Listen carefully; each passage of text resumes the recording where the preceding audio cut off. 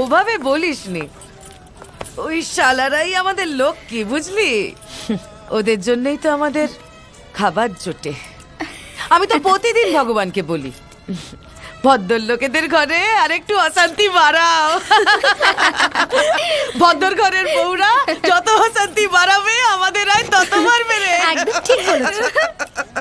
সব মেয়েরা কিন্তু বউদের সাথে অশান্তি করে আসে না। কেউ কেউ স্বভাবেও আসে।